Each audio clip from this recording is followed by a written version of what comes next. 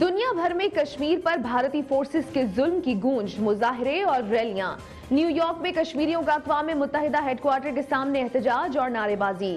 مظاہرین سے خطاب میں وزیراعظم آزاد کشمیر فاروق حیدر بولے بھارت مقبوضہ کشمیر میں جنگی جرائم کر رہا ہے۔ اقوام متحدہ اس کا نوٹس لے۔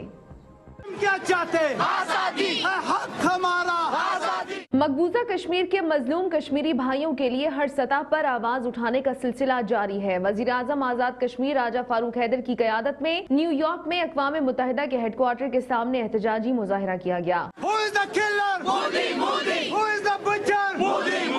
خطاب میں راجہ فاروق حیدر نے مطالبہ کیا کہ اقوام متحدہ مسئلہ کشمیر پر اپنا کردار ادا کرے۔